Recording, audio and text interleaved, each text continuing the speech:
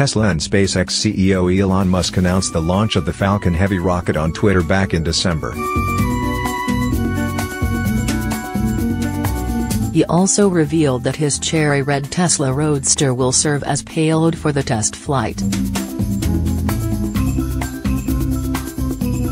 Just in case we didn't believe him, he went so far as to post a picture of a roadster mounted to a pedestal inside the payload fairing.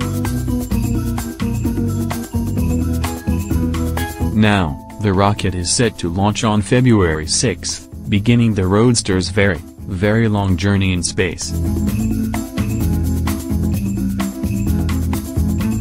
According to Musk, the Roadster will be locked in Mars orbit for 1 billion years and will play David Bowie's Space Oddity for as long as it can. That, of course, will only happen if the car doesn't blow up on ascent.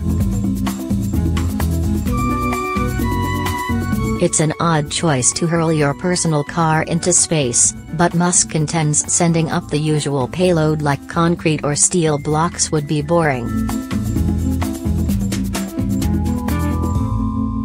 SpaceX says the new Falcon Heavy is the most powerful operational rocket in the world. It should be able to lift into orbit more than 119,000 pounds, or the mass equivalent to a 737 jetliner filled with passengers, luggage, and fuel. The rocket was built with the intention of sending humans into space, fitting in with the company's goal of allowing people to live on other planets someday.